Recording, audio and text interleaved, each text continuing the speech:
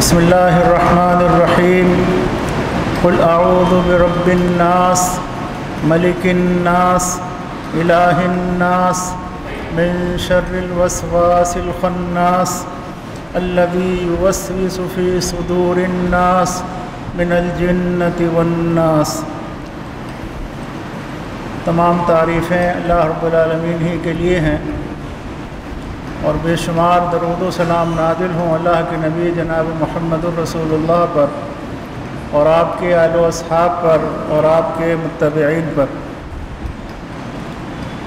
हमदोसना के बाद कुरान मजीद की सबसे आखिरी दो सूरतें मैंने आपके सामने पढ़ी हैं। इन दोनों सूरतों को मुआवज़तैन कहते हैं। इन दोनों सूरतों में जो कुछ बताया गया है, वो बहुत ही अहम बातें हैं और बहुत अहम सूरतें हैं ये। और मुझे उम्मीद है कि आप तमाम हजरात को ये दोनों सूरतें ज़बानी याद होंगी। कुरान करीम की इन दोनों सूरतों को मुआवज़ा मुआवज़तैन इसलिए कहा जाता है कि इन दोनों सूरतों के ज़रिए अल्लाह ताला की पनाह तलब की जाती है। और इस नाहिए से ये दोनों सूरतें मुसलमानों के लिए बड़ी अहमियत की हामिल हैं। हम बहुत से मामलात में गफलत का शिकार होते हैं और उसके नतीजे में शैतानी वसाविस और शैतानी रास्ते पर चल पड़ते हैं। हम बहुत सी तकलीफ़ों का और अपने घर में बहुत से मसाइब का ज़िक्र भी करते हैं, लेकिन उनका हल सही तौर पर तलाश नहीं कर पाते। तावीज़ गंडों का बाज़ार भी गर्म है और बहुत से ऐसे लोग जो ईमान पर डाका डालते हैं वो भी मार्केट में बड़ी तादाद में दस्तियाब हैं। मुसलमानों को अपने ईमान और अपने अकीदे की भी हिफाजत करनी है और अपने अमल की भी हिफाजत करनी है। जब तक हम बुराइयों से नहीं बचेंगे, ख़ास तौर पर अकीदे की बुराइयों से तो हमारा कोई भी अमल अल्लाह ताला के यहाँ काबिल कबूल नहीं होगा। आमाल की कबूलियत का दारो मदार अखलास पर है, अक़ीद तोहद पर है। तोहद अगर पुख्ता नहीं होगी तो हमारा कोई भी अमल अल्लाह ताला के यहाँ कबूलियत के लायक नहीं होगा। इसलिए हमें अपने अक़ीदे की, अपने ईमान की, अपने अमल की हिफाजत करनी चाहिए। और उसका तरीक़ा ये है कि हम कुरान करीम की रोशनी में और रसूल अकरम सल्लल्लाहु की सुन्नत की रोशनी में ज़िंदगी गुजारें। अपने अकायद को भी और अपने अमल को भी किताब सुन्नत की रोशनी में लाने की कोशिश करें। ये दोनों सूरतें हमें अल्लाह रब्बुल से जोड़ती हैं। अल्लाह की तोहद के अक़ीदे को मज़बूत करती हैं। ये दोनों सूरतें शिरक से बचने का और शैतानी वसाविस से बचने का एक बहुत बड़ा ज़रिया है। रसूल अकरम सल्लल्लाहु अलैहि वसल्लम की सही हदीस है, मुस्लिम में और अब तिरमिज़ी में। मुस्लिम में अट्ठारह नंबर पर और तिरमिज़ी में उनतीस सौ दो नंबर पर। हज़रत अकबा बिन आमिर रदी अल्लाह करते हैं कि सल्लल्लाहु अलैहि वसल्लम ने इरशाद फरमाया, उनजिलत अलैय आयातुन लम युरा मिसलुहुन्ना क़त्तुअलमुअव्विदतैन नबी सल्लल्लाहु अलैहि वसल्लम ने इरशाद फरमाया कि मुझ पर ऐसी आयात नाजिल हुई हैं जिनकी मिसल मैंने कोई आयात नहीं देखी, और वो हैं मुआवज़तैन आऊद बिरबिलनास इन दोनों सूरतों के बारे में फ़रमाया कि मुझ पर ऐसी आयात नादिल की गई हैं कि इनसे पहले इन जैसी आयात मैंने नहीं देखी। सूर फलक और सूर नास, इसका माना क्या है? तर्जुमा क्या है? हम में से बहुत से लोग जानते भी होंगे और बहुत से लोग नहीं भी जानते होंगे। क्योंकि हमारी तवज्जो आम तौर पर कुरान करीम की तरफ़ नहीं होती। हकीकत यह है कि कुरान करीम हमारे तमाम दुखों का इलाज है। हमारे तमाम दुखों का मलवा और मावा और उसका इलाज कुरान करीम में है। इसलिए हम अल्लाह की किताब की तरफ़ रुजू हों। और कुरान करीम की छोटी छोटी सूरतें उन्हें याद करें, उनका तर्जुमा याद करें। क्या कहा गया है? कुल बिरबिल फलक। आप कह दीजिए, मैं सुबह के रब की पनाह में आता हूँ। सुबह के रब की पनाह में आता हूँ। यानी रात का अंधेरा छट गया। सुबह रोशन हो गई। तो अल्लाह रब्बुल तो रात का भी रब है और सुबह का भी रब है। मशरक़ का भी रब है, मगरब का भी रब है। शुमाल जनूब का भी रब है, ज़मीन व आसमान का रब है। ख़ास तौर पर सुबह के वक्त की का ज़िक्र किया गया है इस आयत में।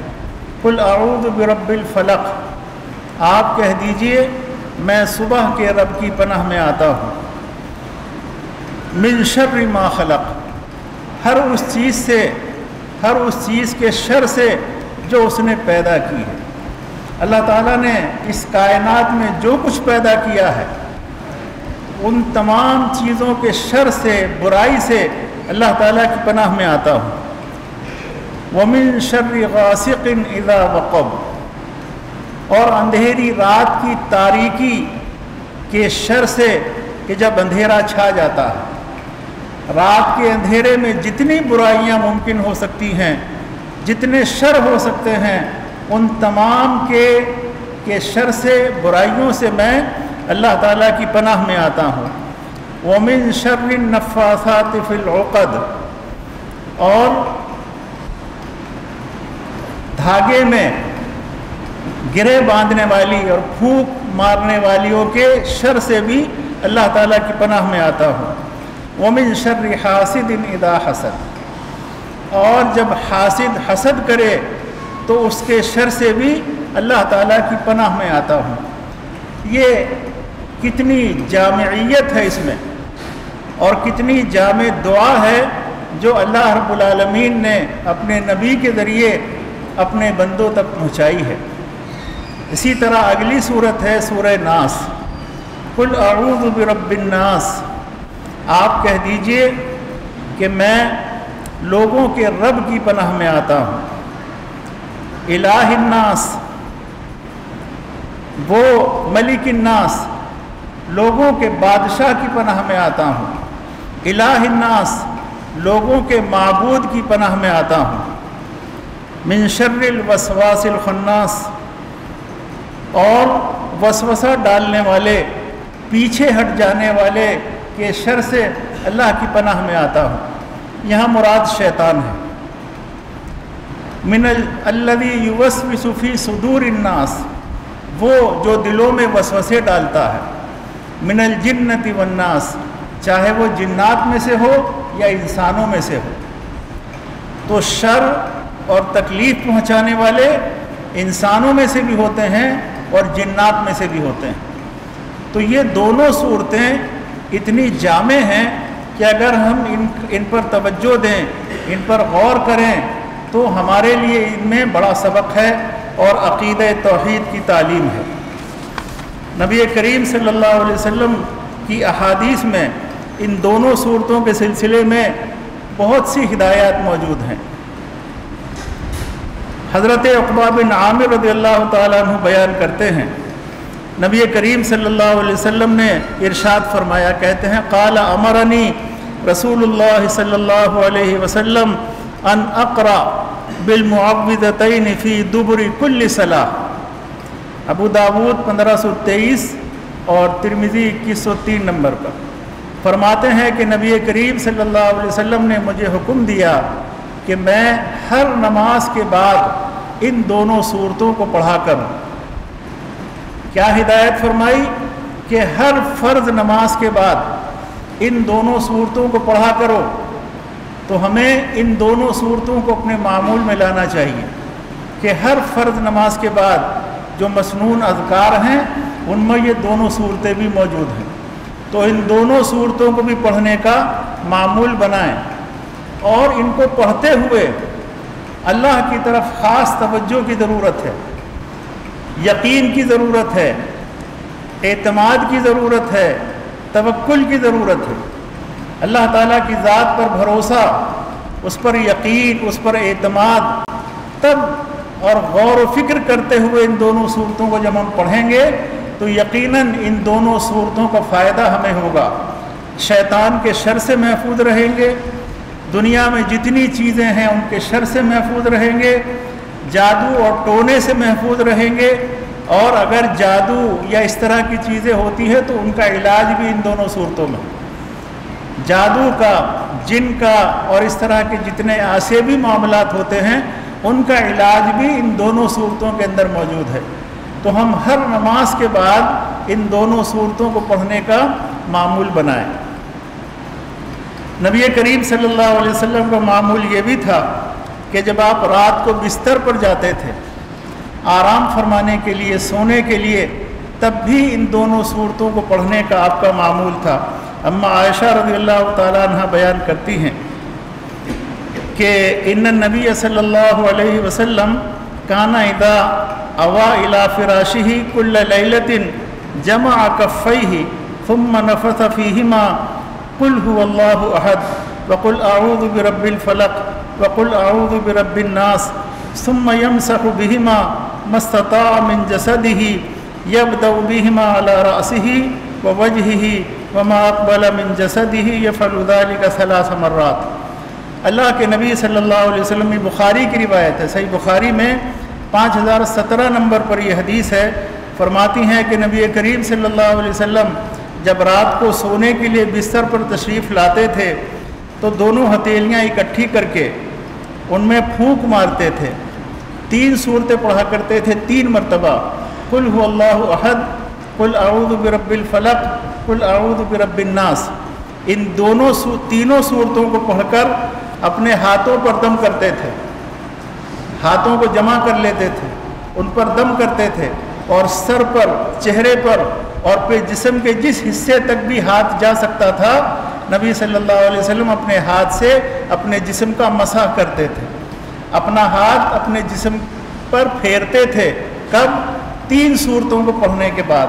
रात को जब बिस्तर पर आप आराम फरमाने के लिए होते थे, सोने के लिए आप बिस्तर पर होते थे, ये अमल करते थे। सही बुखारी की रिवायत है कि कुल अल्लाह अहद, जो सूर अखलास जिसका नाम है।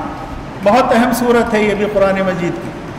और इसमें अल्लाह ताला की तोहद का बयान है, अल्लाह का तारुफ है, अल्लाह ताला का इंट्रोडक्शन है तो सूरह इखलास, सूरह फलक और सूरह नास, ये तीन सूरतें पढ़ते थे, अपने हाथों पर दम करते थे, सर पर, चेहरे पर और बदन के तमाम हिस्सों पर जहाँ तक हाथ जा सकता था, वहाँ तक हाथ हाथ से मसा करते थे।